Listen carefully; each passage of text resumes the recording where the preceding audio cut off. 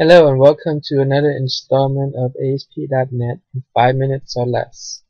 In this video I'm going to show you how to turn on debugging um, for your ASP.NET application. By default the debug um, option is set to false.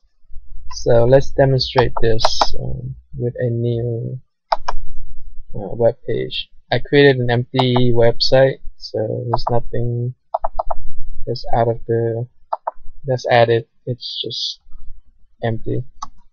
And let's intentionally throw an exception on the code behind exception.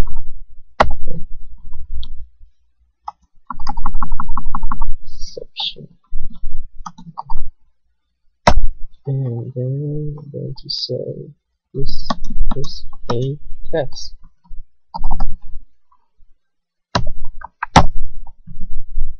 save it and then run it in the browser.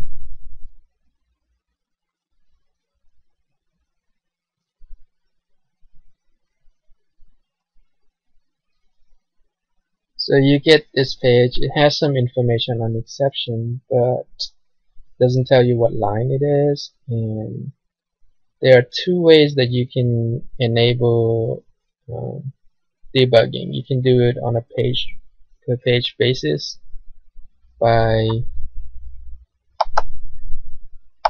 adding this line to the ASP.NET default page. So you go in here and do debug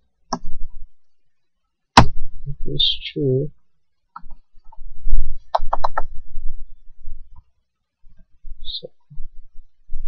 This is useful when you have to debug something that's live and you just want uh, this page to show the exception.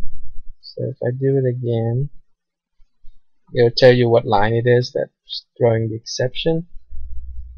But I'm going to show you another way that I like to do during development, which is put this away to change the debug um, property in the web config file. So just change it from false to true, save it, and then run it in the browser.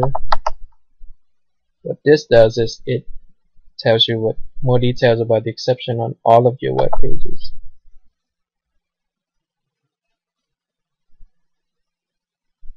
So when you run the page, you get the same message, but this will work for all of your pages. Okay. Thank you very much for watching this video and have a nice day.